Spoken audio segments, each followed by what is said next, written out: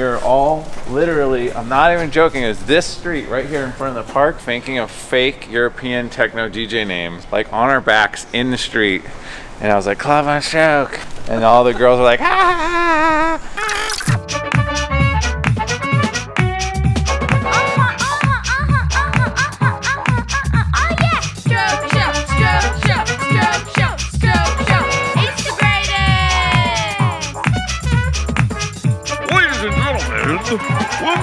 Show featuring your host, Claude Stroke.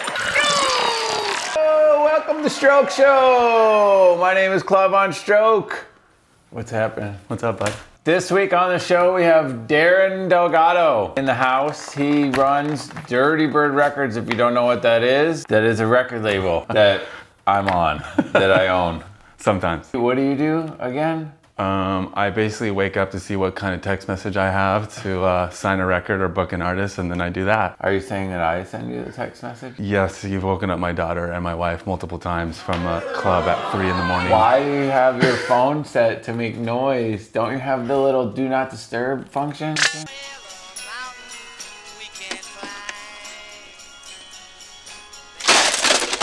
But also, I do know that that's when a record is really, really good. When I actually get the the text message from the club, Right. sometimes actually in the middle of the set while it's playing. while it's playing. I was like the rest of the DJ.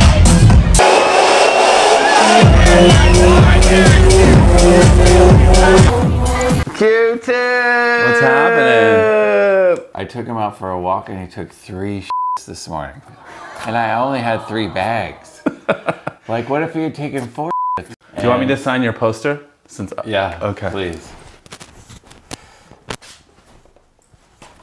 Q-tip is on my thing. He does love you. He's just confused at what the hell you're doing. Okay. Are you keeping it or am I keeping it? You're definitely keeping it. You're gonna Okay, hang it up. I get it. Thanks for everything. You're gonna be something one day. Whoa! Is this how uh, people's checks get signed from our record label? That's exactly it. I work here, but don't work here. He works in San Francisco, the do. original home of Dirtybird Records. Someone has to keep the San Francisco dream alive. I met you when you were hunched over in the back of that record store, Our office was in the back of Tweakin' Records at the time, which was uh, now Vinyl Dreams. which is where we bought all our first vinyls back when you had to play vinyl records when DJing was real. That's where everybody hung out and like It was the spot. Yeah. And we had Stompy back here. Here, we did all of this. We had this hand painted, this this design right here, like 12 years ago. And we built, and we actually built a DJ booth because we're like, we were do a digital download store, but everyone wanted to like come and listen to records. Back here, behind these doors, was our office. Trying to uh, make a million dollars out of a dollar ninety-nine. Spent a lot of time in this place, man. That's back when like the guy behind the record store counter was a he thing. yeah, and he could pull records for you if you were cool. Oh no. You know what? I don't think I'm selling it this week. Maybe next oh, week. Oh no, you said that last week. And then he would give you a dirty look if you even asked him about it. Right. I said, you. I don't have that record. I don't have that record, even though there's a stack right behind it. All right, here we are. This place used to be called The Top. This is where all of us pretty much started out DJing. Justin Martin, Worthy, Christian Martin, and me. You would come to play your like big gig downtown, and then on Sundays, if you just happened to stay over an extra day, you'd show up at the top and play your surprise set. If this place was going off, it was awesome. What do you do? What are you doing? Yeah, we've got some really cool stuff coming out that's a little bit different. We just had this Mark Hul Hul Hule Hul. I say Hule. Nah, Hule. It's not Hule. We got Mattias Tanzmann coming on the label for the first time. We got a cool Miami compilation around our big old party in Miami at Space. A bunch of other cool stuff. A Claude Von Stroke record with a collaboration with Eddy M, guy from Elro. We're all literally, I'm not even joking, was this street right here in front of the park, rolling on the street, thinking of fake European techno DJ names, like on our backs in the street. And I was like, Claude VonStroke. And all the girls were like, ah. ah, ah, ah And I was like, oh, that sounds funny. and then Nicole put it on her birthday party flyer the next week, which was at the Tunnel Top, and I DJ'd her birthday's Claude VonStroke. And then I changed the record name. The record was Barclay Crenshaw Deep Throat on Rook Records, and it went changed to Claude VonStroke Deep Throat on Dirtybird. This is it. This is the front, and then you would have to go through the two doors, and then my studio was in the back. Everything's in one room, kitchen, bed, everything. Me and Fernando hand stamped all the first promos on the floor, and, we would play The Simpsons and Nintendo game. It's weird that I just remembered that part. My friend Anthony shot the very first music video on Dirtybird, my very first music video. We shot it on Super 16 film in this laundromat with my nephew Vincel. You can check out the video online, it's still up.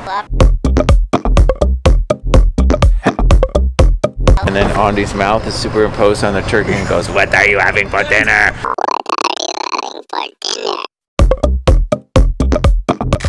I'm working on making everyone else famous. Right, So now maybe I'll be famous. for sure. I'll put this up in my bedroom. You're like, Deron, sign us, dude. Yeah, it could be worth something. Deron, Toilet paper. Deron, Deron, Deron. I Nobody went with the cheer. I'm not famous I enough thought you yet. guys were gonna go in on it with me. Deron, Deron, Deron, Deron,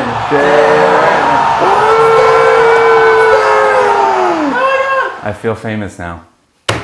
We did our job. That was it. Back when I lived on Lower Haight, I would go to Upper Playground like once a week and get some kind of t-shirt or some or just look around. And a lot of the designs are by Jeremy Fish and he basically got me into pop surrealism.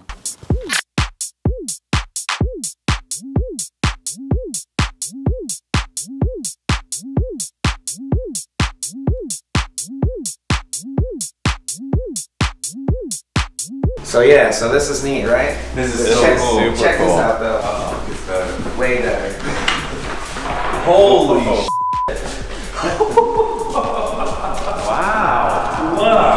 For now, it's just a nice place to work and a cool place for me to get out of my current studio and take a break from work. This is great. I mean, That was I worked with a professional sculptor to make the mold for the big bronze statue in the Haight. The original one had like homeless people living above it, and people they were using it as a ladder to get in and out of this like oh, crack den that was like up above it. People were using it as a toilet, like it had human feces all over it.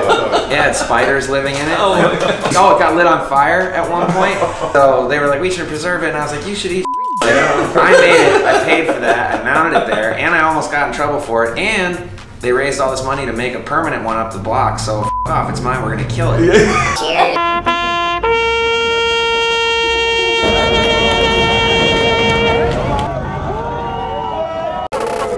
Our show sucks. you got some work to do. Mostly these guys suck, but in general our show sucks. Where's that fucking intern? It's always the intern's fault. What's that guy's name again? Get over here, whatever your name is. I can't, how did you fuck up that Facebook meeting? What do you mean? Is he being serious? Oh my god. Oh, dude. Just get out of here. Thank God for YouTube, right?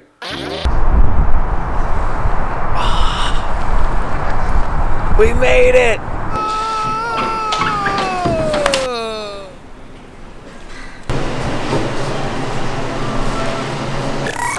you can't even control your laughter? we have the worst film crew.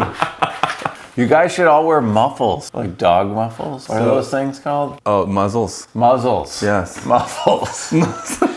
you guys are f- muggles and I'm a wizard. Has, has, has, has Q-Tip ever wore a muzzle? Chete Patronus! Expecto Patronus! Whatever, you muggles! Bow down! If a cow says moo, what does a moose say?